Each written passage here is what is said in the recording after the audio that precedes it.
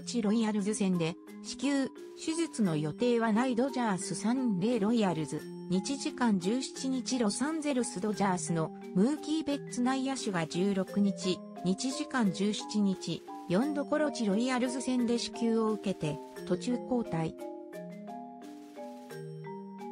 デーブ・ロバーツ監督は、試合後、骨折していると説明し、手術はしないものの、離脱となることを明かした。そして、大谷翔平投手を1番で起用する構想を明かした。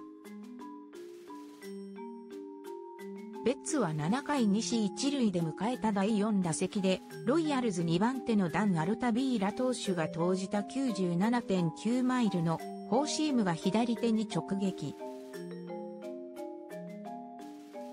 ベッツは苦しそうな表情を見せてうずくまった。しばらく立ち上がれず、場内のファンからは大ブーイング。その後ダイソーにミゲル・ロハス内野手が送られて途中交代となった。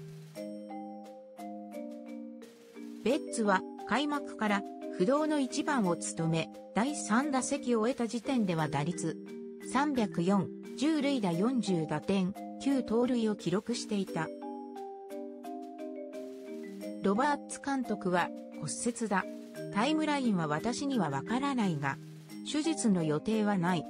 骨が治るのを待つことになると話した。指揮官は、ムーキーのことがまさに気の毒だ。MVP 級のシーズンを送っていた。非常に不運なことと肩を落とした。今後の打順について、大谷を一番で起用するのかと問われると、最初の考えとしてはそうなると話した。フルカウント編集部。